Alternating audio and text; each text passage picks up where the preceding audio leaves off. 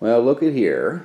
I've got the Reliance Controls power transfer kit. It's a six circuit system that uh, you hook up to the inverter.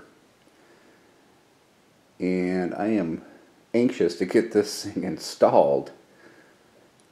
Uh, called the electrician and left a message. He hasn't called me back. So if I don't hear anything back on Monday, I may have to go with a different electrician. But he said he'd do it, and he said he's done them before. So we'll see what happens. Also got the manual transfer flush kit for this, so it'll, so it'll be mounted flat against the wall, well as flat as it can be. It's 50 bucks for that, but I think it'd look better and mount that